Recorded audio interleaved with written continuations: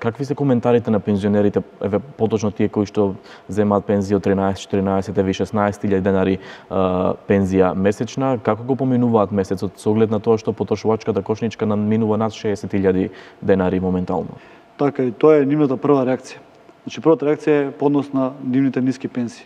И тука како застана зборот, нели процесот за многу малку ми се покачени и а, нивната реакција токму тука.